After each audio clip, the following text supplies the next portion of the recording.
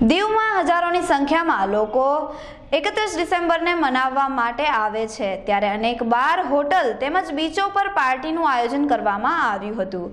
એક અનુમાન મુજબ દિવસમાં એકત્રીસ ડિસેમ્બરની રાતે એકથી સવા કરોડનો દારૂ પીવામાં આવે છે. તો દારૂના નશામાં કોઈ અણબનાવ ના બને અને લોકોની સુરક્ષા માટે દીવ એસપી હરેશ્વર સ્વામી, એસડીપીઓ રવિન્દ્ર શર્માના માર્ગદર્શન હેઠળ દીવ પોલીસ ખડાપગે રહીને તકેદારી રાખી હતી.